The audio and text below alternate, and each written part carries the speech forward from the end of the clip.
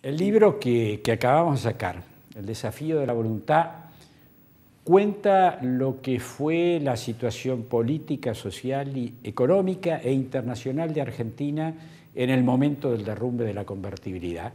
y cómo entre abril del 2002 y mayo del 2003, el momento en el cual Dualde le transfiere el poder a Kirchner, eh, se logró una salida, una solución en lo político, en lo económico, eh, en lo social.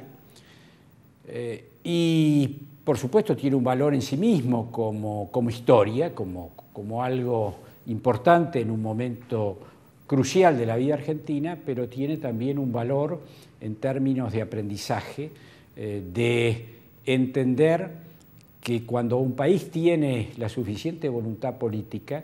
eh, como se tuvo en aquel momento, hay formas de encontrar eh, soluciones económicas, soluciones eh, sociales, como las que se encontraron precisamente en, este, en ese momento, y permitieron que cuando llegó el 25 de mayo del 2003 se hiciera la mejor, la más pacífica y, la, y la, más, la mejor armada desde el punto de vista económico transición desde eh, que volvió la democracia o recuperamos la democracia en 1983.